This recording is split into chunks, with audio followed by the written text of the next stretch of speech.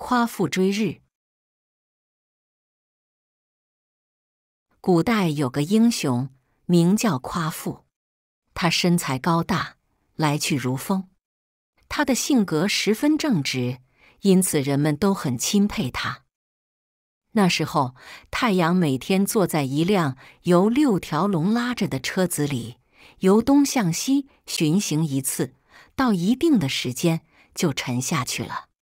老百姓不断的祈祷，希望太阳能放慢脚步，让白天长一些，以便多干一点活。夸父知道后，决定为老百姓解决难题。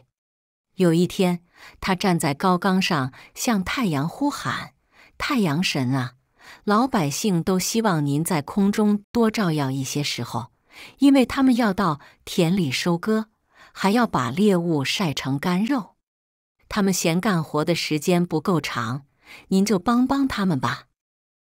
可是太阳依旧在天上不停地奔跑，还用鞭子抽打着拉车的龙，让他们跑得更快些。夸父气愤地说：“太阳神啊，难道你不能给人们行点方便吗？”太阳的态度十分恶劣，他说：“我是天帝派来的，该快该慢用不着你管。”还不快些走开！说着，太阳的车子从夸父的头上越过去。夸父气极了，在后面边追边喊：“你这个无情的家伙！我发誓一定把你追回来！”夸父撒开大步，拼命地追上去。他跨过河流，越过森林，慢慢地接近太阳。他开始感到口渴。喉咙像是要冒烟一样，但他仍然不停地追赶。他渴得无法忍受，于是跑到黄河去喝水。他一口气把黄河的水喝干了，还是不能止渴。他决定到北海去喝个痛快，可是，在途中倒了下来。他不断地呻吟着：“水，水！”声音越来越微弱，不久就渴死了。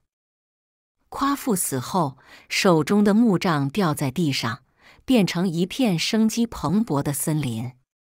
太阳从空中俯视这悲壮的情景，心里震动万分，不由得放慢脚步。白天的时间因此长了些。从此，人们有更多的时间劳动，收获也就更丰富了。人们永远记得这位舍己为人的大英雄夸父。